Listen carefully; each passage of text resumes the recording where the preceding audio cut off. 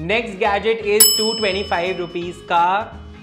kitchen face durable semi automatic hand pressure rotating stainless steel whisk manual egg beater frother stirrer blending whisking beating stirring lassi और butter milk maker mixer 12 inch इतने छोटे से product का इतना लंबा सा नाम है इट बेटर वर्क यहाँ पर मेरे पास थोड़ी सी विपिंग क्रीम है, इसको विप करके हम लोग ट्राई करेंगे इफ़ दिस वर्क्स और not